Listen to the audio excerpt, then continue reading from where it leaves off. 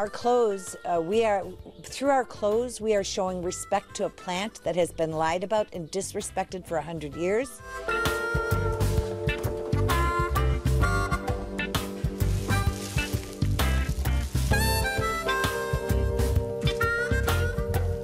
So we grow it, we uh, dry it, and then in these pots, we cook it in coconut oil at 130 degrees.